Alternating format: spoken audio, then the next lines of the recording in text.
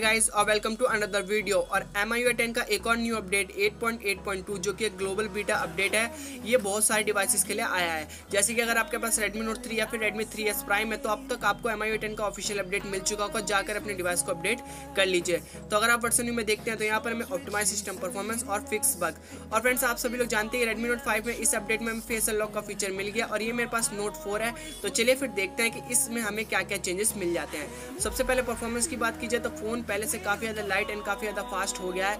साथ ही अगर आप थीम्स मैनेजर में जाते हैं तो आपकी जो डिफ़ॉल्ट थीम है, उसको पूरा चेंज कर दिया गया है। तो आप यहाँ पर डिफ़ॉल्ट थीम अपनी देख सकते हैं। इसमें हमारा क्या क्या चेंजेस हुआ है? इसमें आपके आइकन चेंज हो गए हैं। इसमें आपके जो फ़ोन के एनिमेशन चेंज हो गए हैं बहुत सारी चीज़ें उसके साथ ही मेरा नेट अगर ओपन होता तो मैं आपको दिखाता जो कैटेगरीज है, वहाँ पर भी जो पूरा उसकी सेटिंग चेंज कर दी गई है।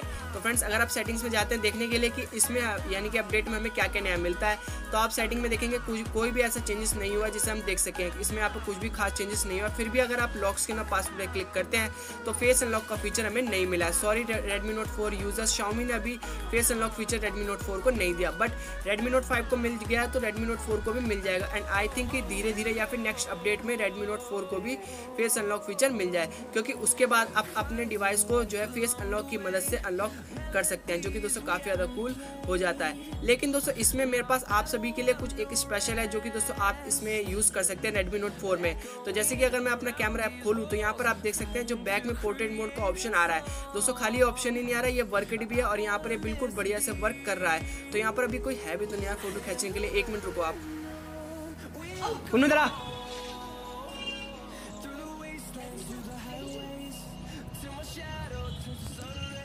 तो आप यहाँ पे देख सकते हैं जो फ़ोटोज़ है, कितनी ज़्यादा बढ़िया एंड कितनी ज़्यादा जो ब्लर इफ़ेक्ट है, वो बहुत ही ज़्यादा बढ़िया दे रखा है। इनमें जो फ़ोटोज़ की शार्पनेस है, वो भी काफ़ी ज़्यादा अच्छी दे रखी है। लेकिन दोस्तों, अब यहाँ पे सवाल उठता है कि आप इस फीचर को कैसे इनेबल कर सकते हैं? इस अपडेट के बाद अगर आप अपना फ़ोन का कैमरा खोलेंगे तो इसमें आपको कोई भी पोर्ट्रेट मोड फीचर नहीं मिलेगा बैक कैमरे में। लेकिन दोस्तों, इसको अगर आपको इनेबल करना है तो इसके लिए आपको एक ऐप की ज़रूरत पड़ेगी, जिसका लिंक डिस्क्रिप्शन में मिल जाएगा। ये दोस्तों, ये भी एक एम का कैमरा तो इसको आप इंस्टॉल कर सकते हैं ईजिली अपने फ़ोन में। डाउनलोड करके तो चलिए इसे इंस्टॉल कर लेते हैं। इंस्टॉल करने के बाद आप देखेंगे दो दो कैमरा हो जाएँगे आपके पास।